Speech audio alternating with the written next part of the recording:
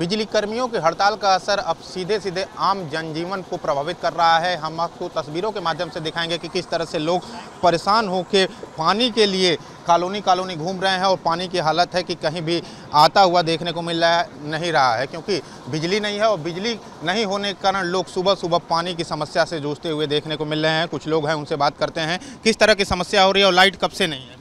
पिछले तीन चार दिन से लाइट नहीं होने की वजह से हम लोगों को क्षेत्र में अस्त व्यस्त जीवन हो गया है। बच्चे खास तौर से ना स्कूल जा पा रहे हैं, ना कायदे से कहीं खा- खा पा रहे हैं, ना रह पा रहे हैं, सो भी नहीं पा रहे हैं। लाइट ना रहने की वजह से मच्छर की ज़्यादा दिक्कत है, मच्छर भी हो रहे हैं इधर।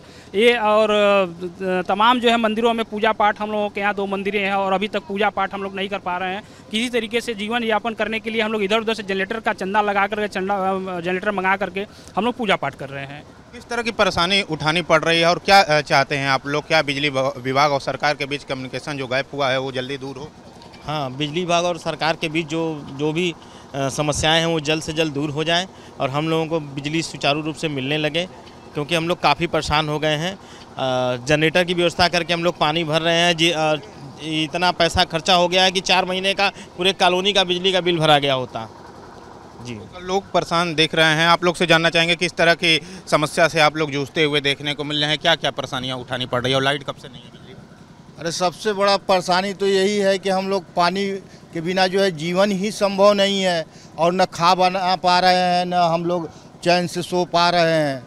अब इससे बढ़ के क्या परेशानी हो सकता है? कब से बिजली नहीं है? तीन चार दिन हो गया।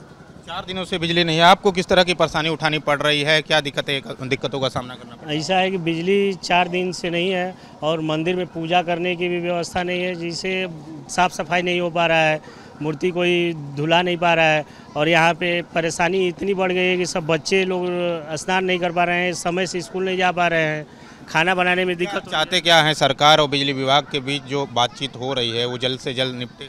हम लोग तो यही चाहेंगे कि जितना जल्द से जल्द हो, उतना जल्द से जल्द इसका निपटारण हो जाए और जो भी बिजली विभाग की समस्या है, वो अपने गवर्नमेंट से ये करे और उपभोक्ता को कोई परेशानी ना हो।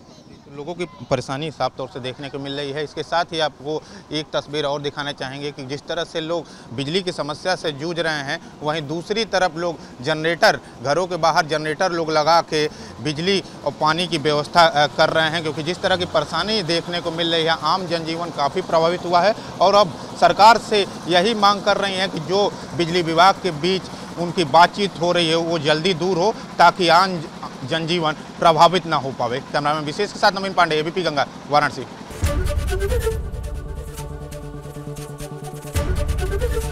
एबीपी गंगा, खबर आपकी, ज़ुबान आपकी।